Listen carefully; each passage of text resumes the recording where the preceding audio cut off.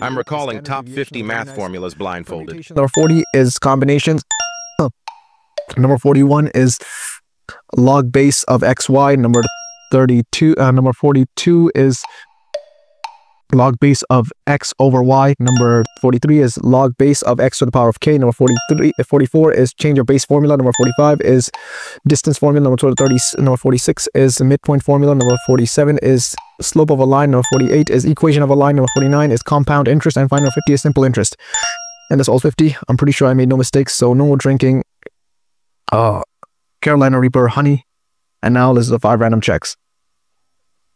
And let's do number 1 through 50. And let's get started. Number 50, number 50 is simple interest.